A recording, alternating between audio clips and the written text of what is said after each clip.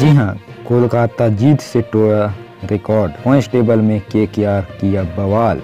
लखनऊ को पहुँचाया नीचे पर। जी हाँ आईपीएल के 28वां मुकाबला लखनऊ और कोलकाता के बीच खेला गया था, जिसमें के के आर टॉस जीतकर पहले गेंदबाजी करने का फैसला किया।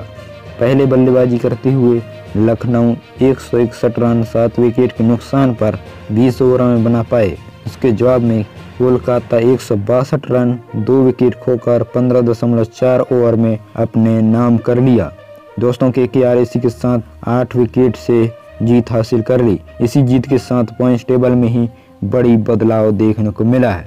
तो दोस्तों, इस वीडियो को एक लाइक करना मत भूलिएगा। तो देख सकते हैं दोस्त, आप लोग, पहले नंबर पर है राजस्थान रॉयल जो छः मैच खेल चुके हैं, जिसमें पाँच में जीत और एक में हार मिली है। बात करें दूसरे नंबर के के आर जो पाँच मैच मैच खेल चुके हैं, जिसमें चार में जीत और एक में हार मिली है। बात करें सी एस के तीसरे नंबर की, पाँच मैच खेल चुके हैं, तीन मैच जीते हैं और दो मैच हारे हैं।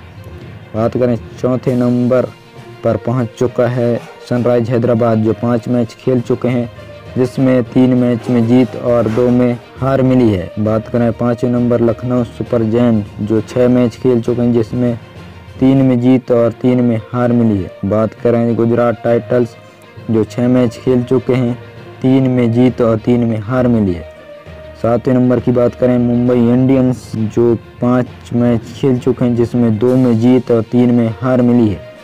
बात करें आठवें नंबर पंजाब किंग्स छः मैच खेल चुके हैं, जिसमें दो में जीत और चार में हार मिली है। बात करें नौवें नंबर की दिल्ली कैपिटल्स, जो छः मैच खेल चुके हैं, जिसमें दो मैच जीत और चार मैच हार चुके हैं। बात करें दसवें नंबर आरसीबी, जो छः मैच खेले हैं, एक में जीत, बाकी पाँच में हार मिली है।